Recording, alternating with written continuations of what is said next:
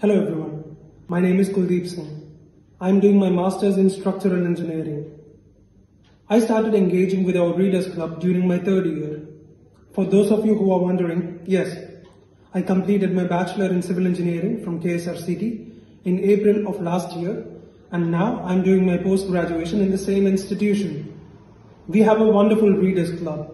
Students from various departments get together from time to time and share their ideas and views. Being a member of a Readers Club has many advantages.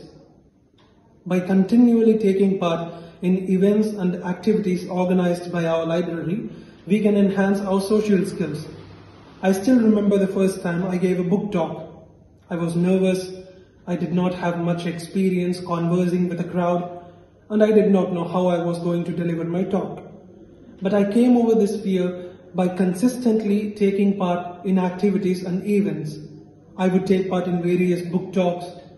I will take part in speech competitions which are held during every year's annual conclave. Apart from readers conclave and book talks, we have a bunch of other online activities like group discussion where we are presented with a topic.